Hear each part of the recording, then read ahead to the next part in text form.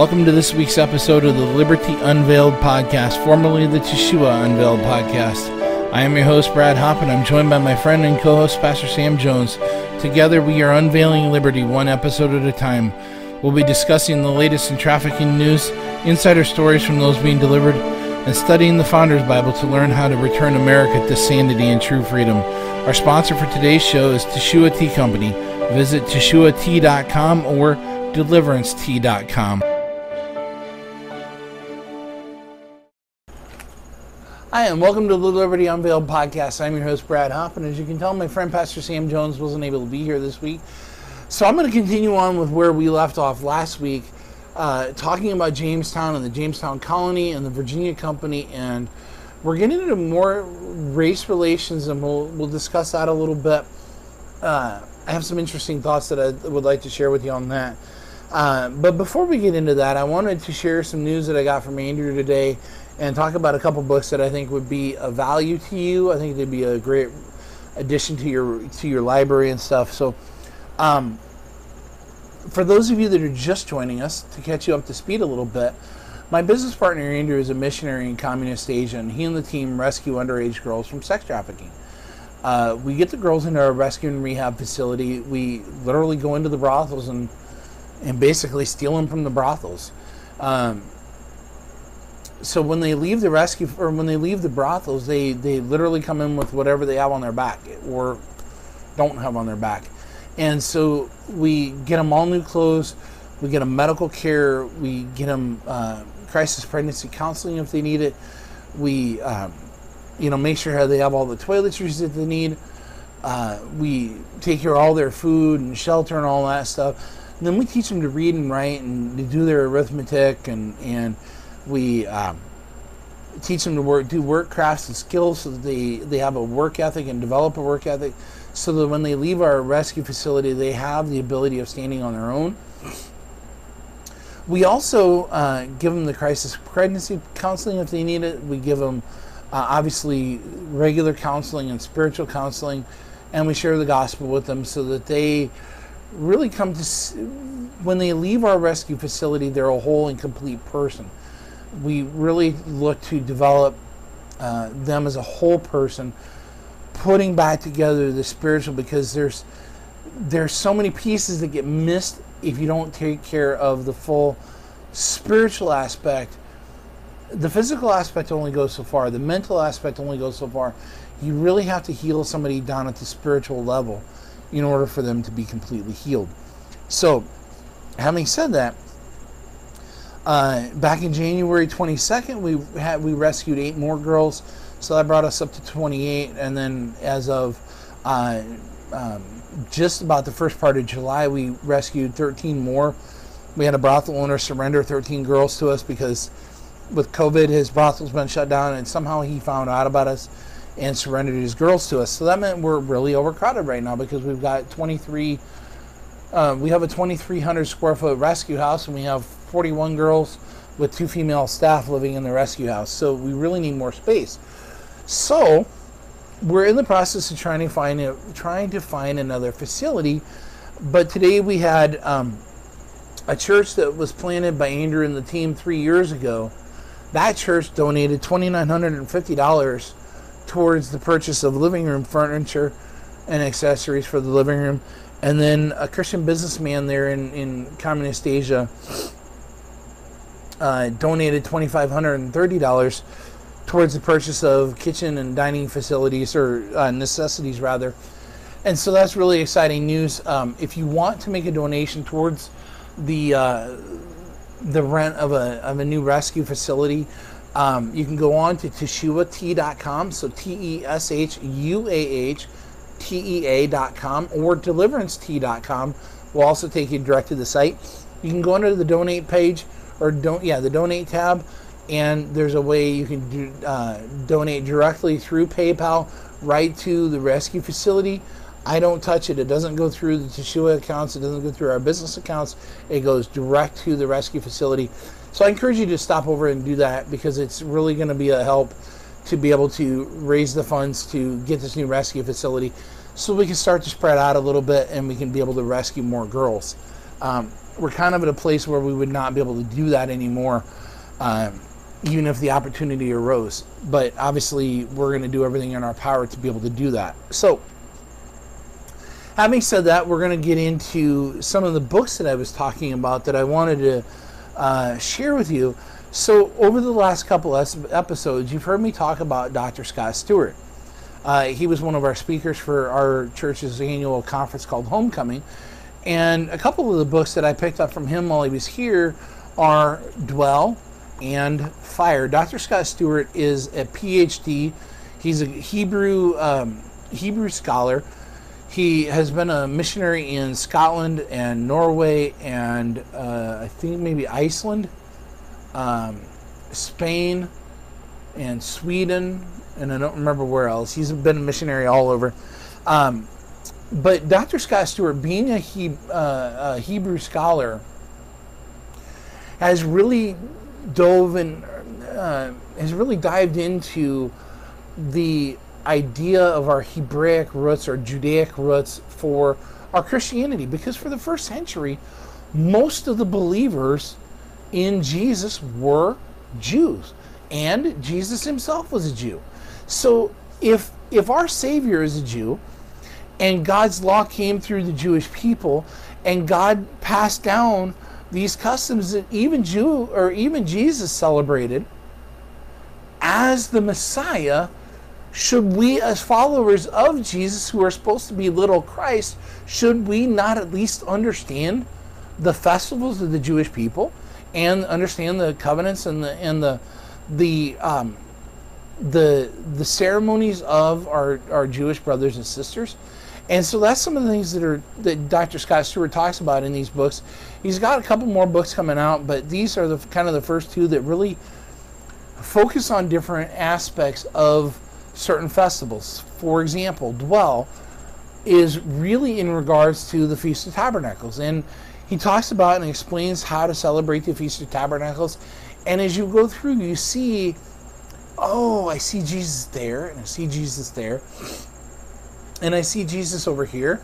And all of a sudden, it begins to open up the richness of the Judaic uh, festival of the Feast of Tabernacles, or Yom Kippur and Rosh Hashanah, which are actually coming up here in, in September sometime, I believe. Um, so Dr. Stewart talks about a lot of that different stuff in here. Um, so great book. Uh, his other book, Fire, talks about the feast of uh, Shavuot, or what we call Pentecost. Um, obviously, that's the day that the Holy Spirit came down. The disciples had been had been staying in Jerusalem. They were told to wait until the outpouring of the Holy Spirit came. They waited, and then the Holy Spirit came, and so the dwelling and the waiting, and then that brought the fire. And so it's really interesting. He goes through the Feast of Pentecost or the Feast of Shavuot, uh, as it was previously known, and, and talks about how to celebrate that festival and how does it relate to us as believers today and what can we draw from it. So, another great book. Um, as I said, I don't have these books for sale on the website, but I encourage you to go on Amazon or, or favorite bookseller and, and pick them up. Uh, the next book I want to talk about is Social Injustice. Uh, exposing the false gospel movement of the social justice movement, or exposing the false gospel of the social justice movement. I think I said that wrong. Um, this book was written by a friend of mine, Jeff Dornik, and co-authored by several other men, um, including Brandon Howse, Dr. Andy Woods, Dr. Mike Spaulding, Thomas Littleton, Ken Peters, a name you'll recognize here, Pastor Sam Jones, Ian M. Giatti, uh, Patrick Witt, uh, Paige Rogers, and Dustin Faulkner Schumann. Um, this book really talks about how the social justice uh, movement has really infiltrated the church, and it also exposes its ties to the Communist Party and how they're working together to tear down the the church and to really introduce a lot of heresy into the church. Great book. I encourage you to get it and pick it up and read it. Um, so, as I said, I want to really dive into where we were talking last week, um, going back to Jamestown and what did our founding fathers uh, what was their views on race? What was their, you know, um, how did the charters uh, that the Virginia Company and, and so on and so forth, how did those charters influence America and how did they um, bring about the Revolutionary War 160 years before that event transpired? So, Jamestown, a proclamation of racial harmony. In March 1613, Pocahontas and her husband, Kocoum, were living in a village of the Powhatan Confederacy tribe when she was kidnapped and transported about 90 miles to the English settlement at Henricus on the James River, where she was held for ransom. By Powhatan custom, her marriage ended when she was captured. There, Pocahontas converted to Christianity and took the name Rebecca under the instruction of Reverend Alexander Whitaker, who had arrived in Jamestown in 1611. She married John Rolfe, who had lost his wife, first wife and child during the journey from England several years earlier.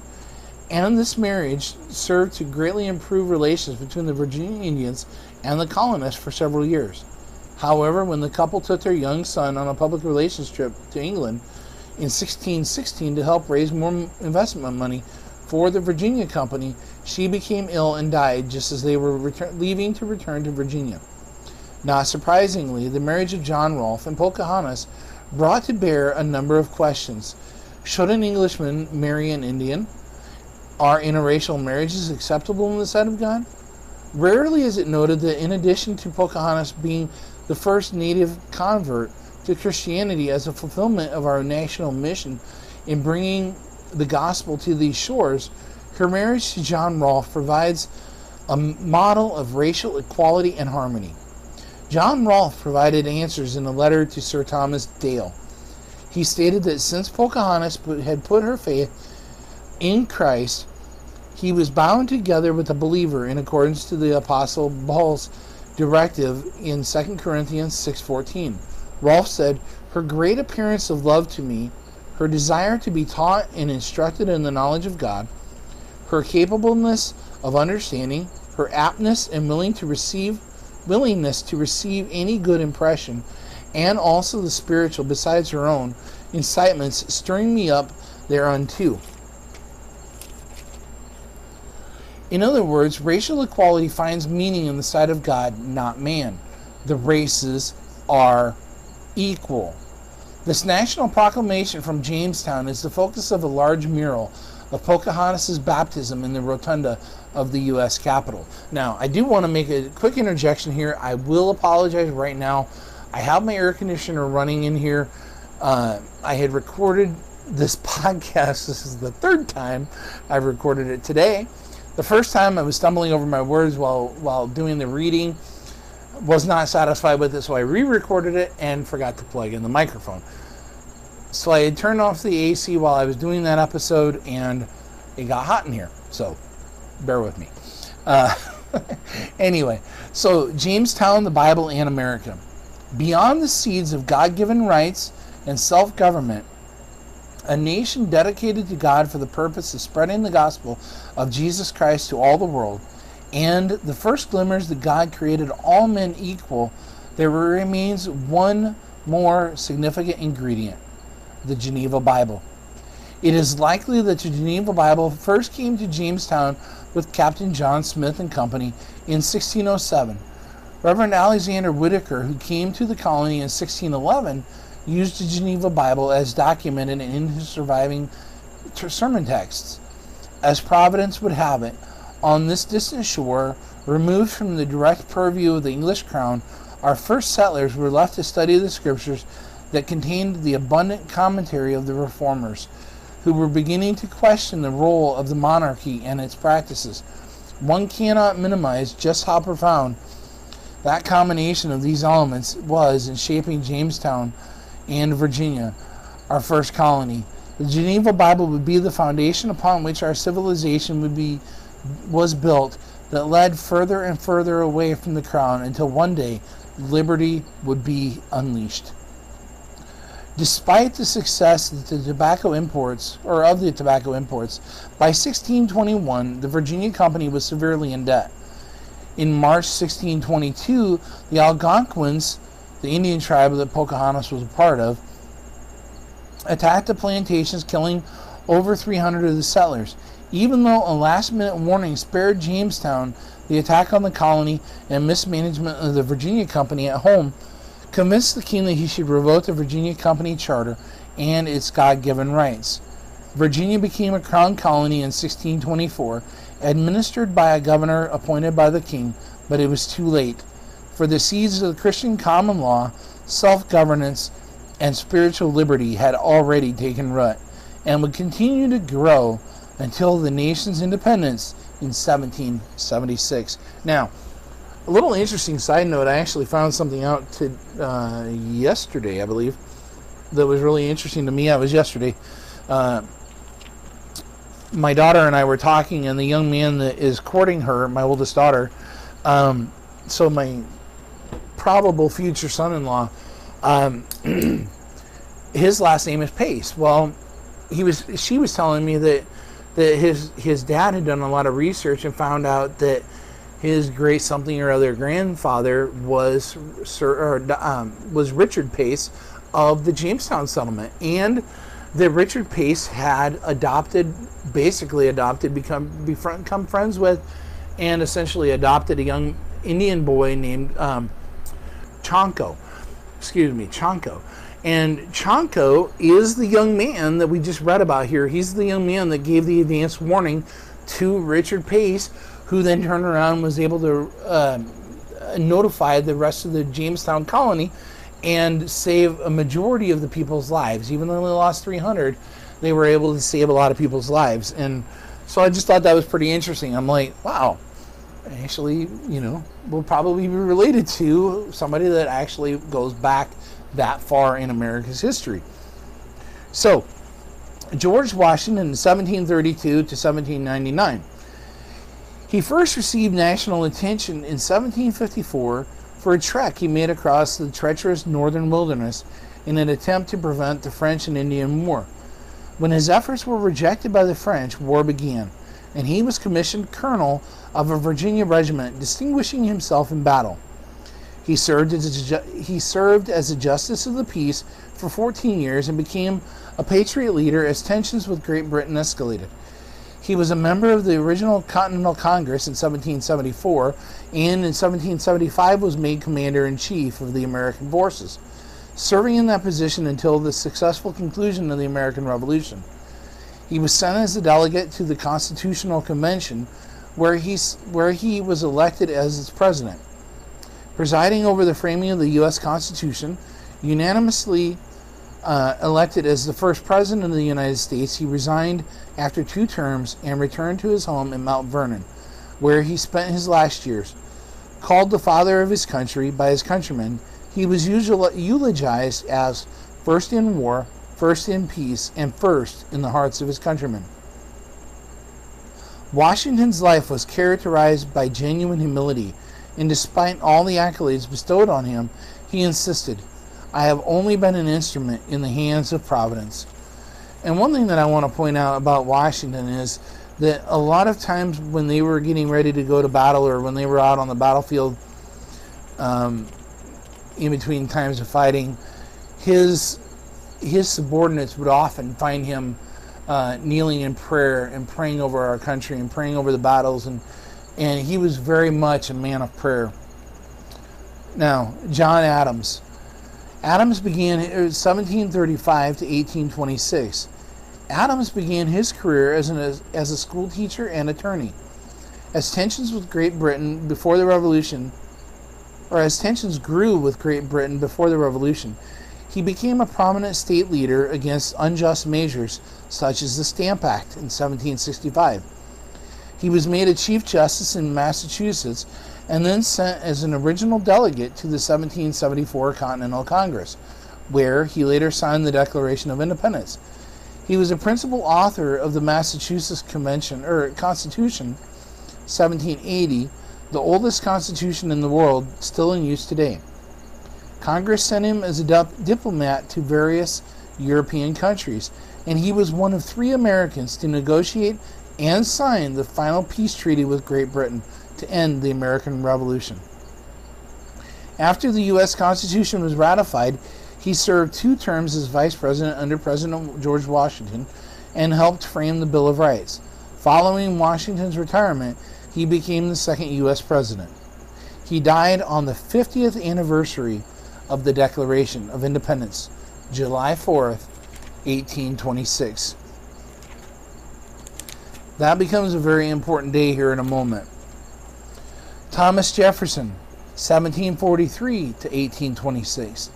A founding father from Virginia, Jefferson gave nearly six, six decades of his life to public service.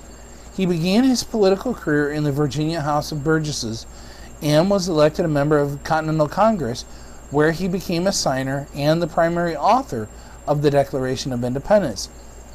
He was elected governor of Virginia, became Secretary of State for President George Washington, Vice President under President John Adams, and then was elected the third President of the United States, serving two terms. Throughout his life, he introduced numerous measures to abolish slavery, all of which were defeated, championed the cause of religious liberty, and late in life founded the University of Virginia. He died on July 4th, 1826, the 50th anniversary of the Declaration of Independence. He and John Adams died the same day. And I I tend to believe that they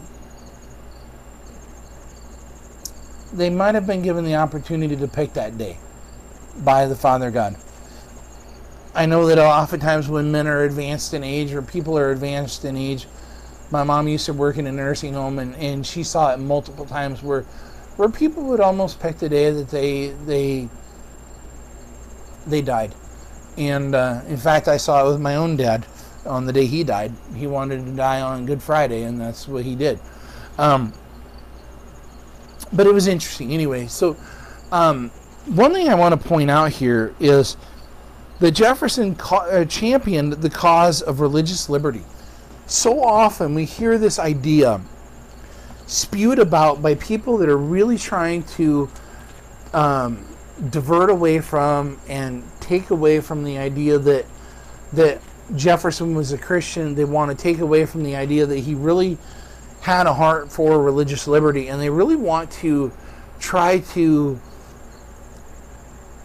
um, picture him as this anti-religious person who said that there's a wall of separation between the church and the state.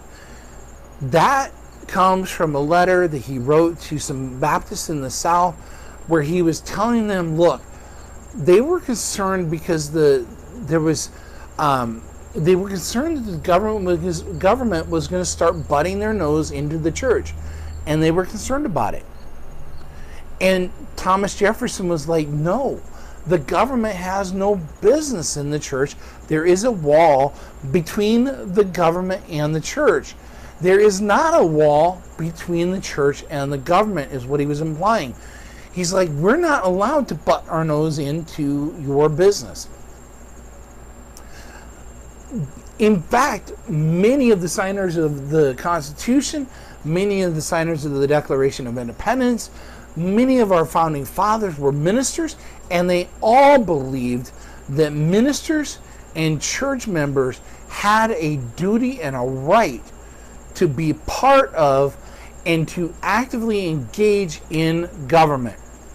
In fact, they said as much when they said that our Constitution is wholly unequipped and ill prepared for an unrighteous and unreasonable people.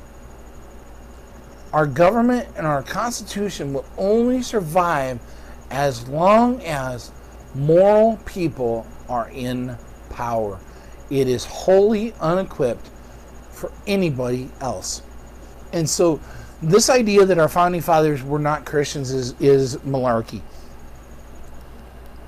Now, this next section is really interesting, especially in light of everything that's going on today.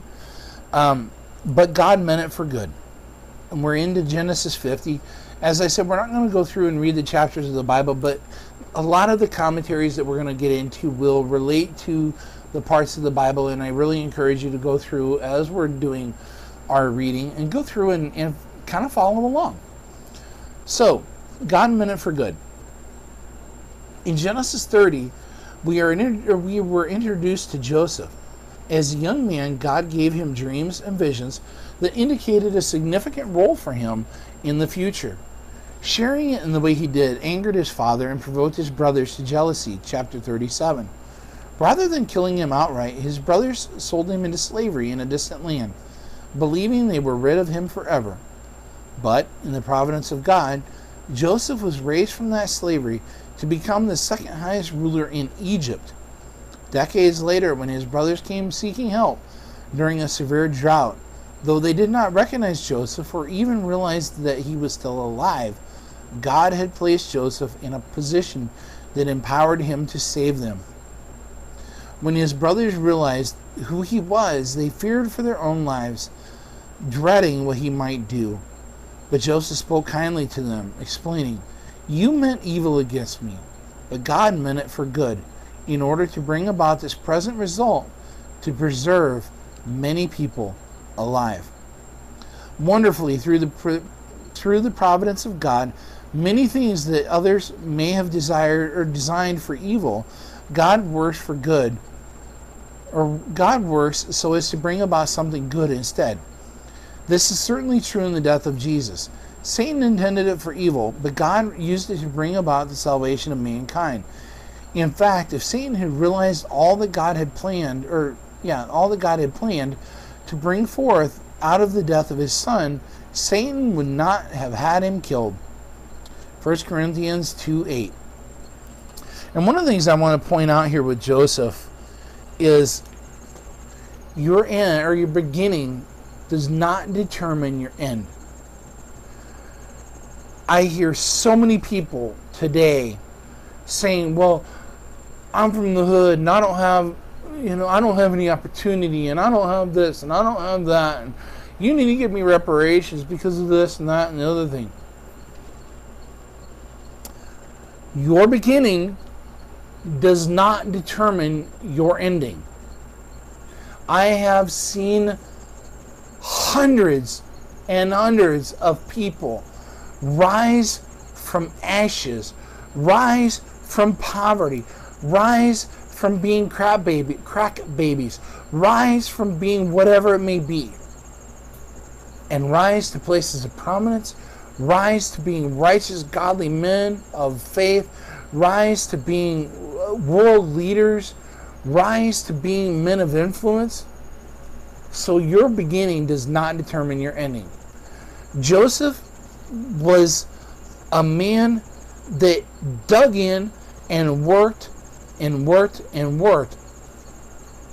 And as such, when he was sold to Potiphar, eventually he became char- in charge of all of Potiphar's stuff, except for his wife. He had rule and over oversight over all of Potiphar's stuff. And Potiphar's wife got the hots for him, got him thrown in prison because he rejected her. And when he went into prison, the jailer comes to recognize the gifts and talents and abilities that are in Joseph and next thing you know, Joseph's in charge of all the prison, second in command only to the jailer. And the baker and the and the um, the food taster for the for the pharaoh, they both um, had dreams, and and they both came before the pharaoh, and and one of them was restored, and one of them had his head taken off, and and eventually the the the one that was restored to his position remembered Joseph and he talked to Pharaoh about Joseph and Joseph interpreted his dream and Pharaoh appoints Joseph to second in command over all of the country of Egypt. And so your beginning does not determine your ending. And I really want to make that clear because as I said, so many people are are getting on this poor pitiful me attitude that woe is me. And this really ties into the next story here. As you may have heard it said on occasion, God specializes in taking lemons and turning them into lemonade. Romans 8:28 promises, God causes all things to work together for good to those who love God, to those who are called according to his purpose. And the story of Phillis Wheatley, 1753 to 1784, is a clear demonstration of this truth. Born in Senegal, Africa, she was kidnapped when eight and sent on a slave ship to Boston, where she was purchased to be a family servant by a prosperous tailor, John Wheatley. But Susanna, his wife, considered Phillis a daughter, and Mary, his own daughter, treated her like a sister. Both Susanna and Mary tutored her, and within 16 months, Phillis had so mastered her new language of English that she was able to easily read the most difficult parts of the Bible with ease. Mary also taught Phillis astronomy, geography, ancient history, the Latin classics, and the English poets, all of which she conquered with great or with equal ease. Because of her aptitude for difficult knowledge and her ability as a brilliant conversationalist, Bostonian intellectuals consider her a child prodigy. When she was 13, she wrote her first poetic verses, and three years later penned a poem about the celebrated, celebrated Reverend George Whitefield, whom she greatly admired. In 1771, she confirmed her faith in Christ and was baptized in the famous Old South Church. In 1773, her health began to fail, and a sea voyage was recommended as a curative. The Wheatleys promptly freed her, and she traveled to England, where she was received by British royalty. Phillis's early interest in poetry remained while abroad, and while abroad, she published her first collection of poems. Poems on various subjects, religious and moral, is the title of it. In 1775, while still abroad, providentially, while the stage or while the siege of Boston was underway in America, she wrote a letter to the new commander in chief, General Washington, including a special poem she had written for him. Washington was so deeply moved that when Phillis returned, he invited her to his military encampment at Cambridge to honor her before his staff and to have her read poetry to his officers. In 1778, she married John Peters, who appeared a promising young man but actually had a deeply flawed character. He was slothful, did not provide for his new wife, and failed to give her the care that her delicate health required, finally deserting her. Five years later, when she was only 30 years old, she died in poverty and was buried in an unmarked grave. And of her three children, two died in infancy, and the third was buried alongside her. Was Phillis bitter about the many apparent tragedy, tragedies in her life? No, she never complained. In fact, she even saw a divine lining to the fact that she had been kidnapped as a young girl, acknowledging, "'Twas mercy brought me from my pagan land, taught my benighted soul to understand that there is a God, that there is a Savior too. Once I redemption neither sought nor knew." What Satan had planned for her, for her destruction, God used for her redemption. Phillis, like Joseph long before, recognized that God had taken what was intended for evil and turned it into something good, for which she was eternally grateful. Phillis was America's first black poetess, and her works remain popular to this day. She is a shining example of the devout Christian and an accomplished poet, and a gracious and kind woman. Exodus. I'm going to read. I always try to read the beginnings of the of the the um, the opening synopsis of the of the books of the Bible, so you can really kind of, as you're doing your own personal Bible study about Exodus or Genesis or whatever, there's some truths that you can draw out from the first part of the synopsis here, and I think it's really valuable.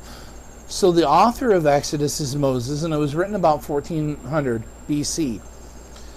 The purpose of Exodus means going out. This is the book that records the deliverance of the Israelites from their slavery in Egypt God unveiling his name, the dethroning of Egypt's false gods with the plagues, the Passover, the journey to Mount Sinai, God's desire to speak to everyone, the Ten Commandments, establishing the covenant, the revelation of the tabernacle, the tent of meeting, the people's sin in fashioning a golden calf, and Moses' intercession.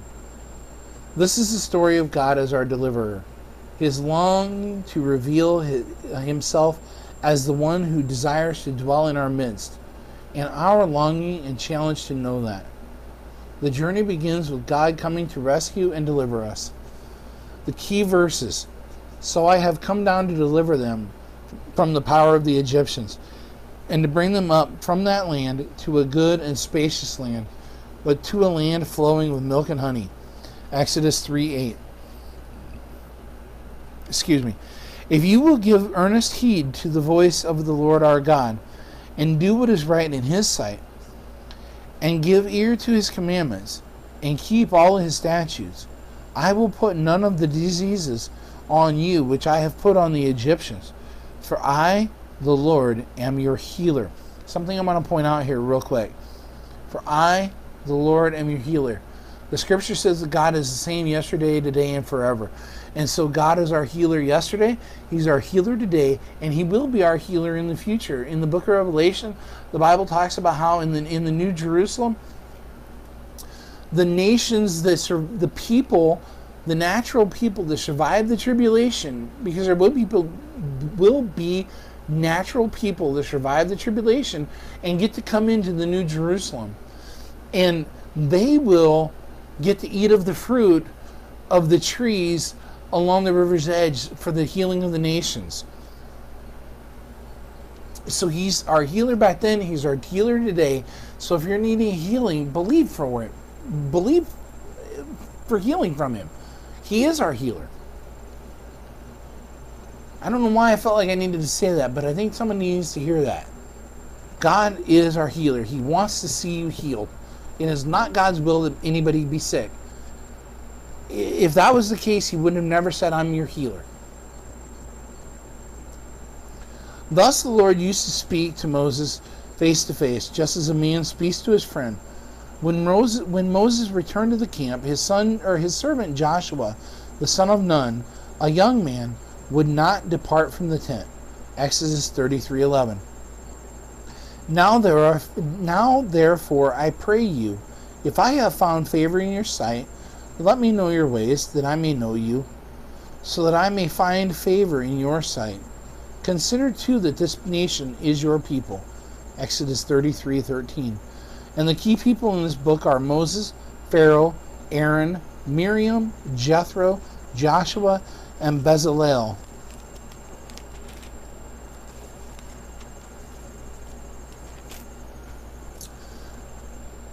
American slavery, the beginning of the end. At the time of the American founding, slavery had become a largely regional issue. Generally, those in the northern colonies strongly opposed it, those in the southern colonies strongly supported it, and those in the middle colonies contained segments of population representing both views. At the Constitutional Convention, the majority of the founding fathers, the majority of the founding fathers were anti slavery. But, in a concession to the southern states, in the new United States, slavery was not abolished by the United States Constitution, even though delegates such as George Mason of Virginia had urged. As much as I value a union of all the states, I would not admit the southern states into the union unless they agree to the discontinuation of this disgraceful trade or slavery. Mason's view did not prevail, but because the overwhelming uh, majority of the delegates did recognize that slavery was wrong, Article 1, Section 9 of the Constitution therefore included a provision allowing Congress to ban the importation of all slaves after the year 1808. Excuse me. At the Constitutional Convention, it was believed that within 20 years, the southern states would be ready to relinquish slavery, and this law would pave the way. In the meantime, remember, they're in a complicated time. They're trying to set up a new nation. They're trying to make sure that all the states are there so that they have enough population base that they can defend the new nation. So, this is a complicated time. They're going through a lot right now. In the meantime, Congress did what it could to limit slavery. In 1789, it banned slavery in the Northwest Territory, thus admitting Ohio, Indiana, Illinois, and Wisconsin into the United States as anti slavery states. In 1794, it banned the exportation of slaves out of the United States into any other nation. Then in 1807, as the long awaited constitutionally designated year drew near, Congress passed a measure banning the importation of any slaves into America, and President Thomas Jefferson promptly signed the law that, as permitted by the Constitution, would take effect the first moment of 1808. On that momentous day, January 1st, 1808, a famous sermon was delivered by the Reverend Absalom Jones, America's first black Episcopalian priest, in Philadelphia at the African Episcopal Church of St. Thomas. Significantly, that church was built under the leadership of Jones, as well as signer of the Declaration, Benjamin Rush, a founder of America's first abolition society, and the Reverend Richard Allen, a famous black minister who regularly preached at the large white megachurch, or at a large white megachurch, before he started his famous Bethel Church and birthed the AME denomination. Jones's sermon was powerful, and he began it with Exodus 3 7 to 8. And the Lord said, I have surely seen the affliction of my people, and have heard their cry by reason of their taskmasters. For I know their sorrows, and I am come down to deliver them. These words, my brethren, contain a short account of some of the circumstances which preceded the deliverance of the children of Israel from their captivity and bondage. They mention in the first place their affliction. Our text mentions in the second place that in this situation they were not forgotten by the God of their fathers and the Father of the human race. Our text tells us that he saw their affliction and heard their cry and came down from heaven in his own person in order to deliver them. The God of heaven and earth is the same yesterday, today, and forever. Hebrews 13:8. He has seen the affliction of our countrymen with an eye of pity. He has seen the anguish which has been taken or which has taken place when parents have been torn from their children and when children from their parents and conveyed with their hands and feet bound in fetters on board ships prepared to receive them. He has seen them exposed for sale like horses and cattle upon the wharves. Their cries and shrieks they have been heard in heaven. The ears of Jehovah have been constantly open to them. He has heard the prayers that have ascended to him from the hearts of his people, and he has, as in the case of his ancient and chosen people, the Jews, come down to deliver our suffering countrymen from the hands of their oppressors. He came down into the Congress of the United States last winter when they passed the, a similar law, the operation of which commences on this happy day. Let the songs of or let the song of angels, which was first heard in the air at the birth of our Savior, Luke 2 13 to 14, be heard this day in our assembly. Let us sing songs under, or psalms under him and talk of all his wondrous works. Psalm 105, verse 2. Let the first of January the day of the abolition of the slave trade in our country be set apart in every year as a day of public thanksgiving. And when they, our children, shall ask in time to come, saying, What mean the lessons, the psalms, the prayers, and the praises in worship of this day?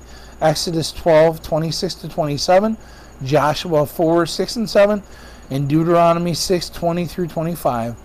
Let us answer them by saying, the Lord, on the day of which this is the anniversary, abolished the trade which dragged our father, which dragged your fathers from their native country and sold them as bondmen in America. From that day in 1808 until the complete abolition of slavery by Congress, with its passage of the 13th Amendment in 1865, the first day of January was annually celebrated in black churches as a day of thanksgiving to God. And it's important to note that slavery is a modern day issue. Yes, we did away with slavery in our country 160 years ago, but it's still active and still resident in many nations of the world tonight. It's going on in Muslim countries, it's going on in Africa, it's going on in Asia, it's going on all over the world. It's going on right here in America through the sex trade. And we can be modern day abolitionists by helping our brothers and sisters come out of the sex trade, by helping them, by helping organizations like Teshuah Tea Company and Teshuah House to rescue girls out of the sex trade. We can do a lot of things in this modern day right now to end or help end slavery in the world, but we can't do it on our own. We have to have your help. And so, as I said earlier in the show, I encourage you to go to, to or deliverancetea.com. Go to the donate page, and five or ten dollars or twenty dollars or whatever. If you can do it on a monthly basis, do it on a monthly basis. But you're already buying you know, you're spending thirty or forty dollars probably a month or more, probably more like hundred dollars a month on Starbucks coffee or whatever. You know, and a, to a company that supports abortion, why not put some of that money instead of supporting them, put some of that money towards buying some of the coffee and supporting the girls that way, but then put some of the rest of it towards a donation towards Teshuah, and so we can get the girls you know, to spread out into a couple different houses and so that we can rescue more girls. So, thank you very much for stopping by. Thank you very much for taking the time to listen to the show today. I really appreciate it. Pastor Sam will be here next week, um, and we'll continue on from there. But it really does mean a lot to me that you guys tune in and listen to the show. Please like and subscribe, and take the time to share the show with your friends. Please, it really, really means a lot to me. Um, you know, we're we're starting to climb up in, in the listens and, and downloads and whatnot. And you know, um, if you listen to us on YouTube, you know that we are on uh, Spotify and iTunes and iHeartRadio and TuneIn and Stitcher and several other your favorite podcast players.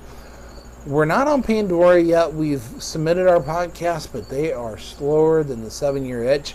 I don't know why they're taking forever to to get us on there, but they are.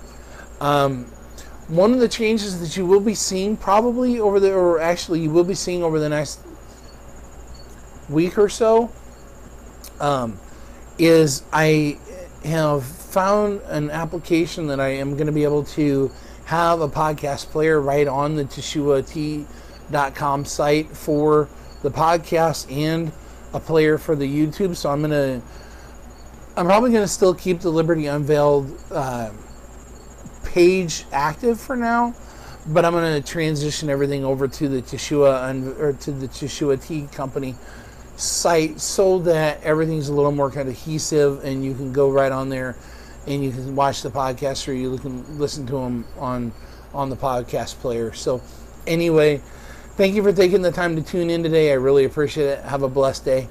Love you all. Bye bye. You've been listening to the Liberty Unveiled podcast, setting captives free one episode at a time. Liberty Unveiled podcast is a part of the Unresolved Podcast Network and has been brought to you by Teshuah Tea Company, T E S H U A H tea.com or deliverancetea.com.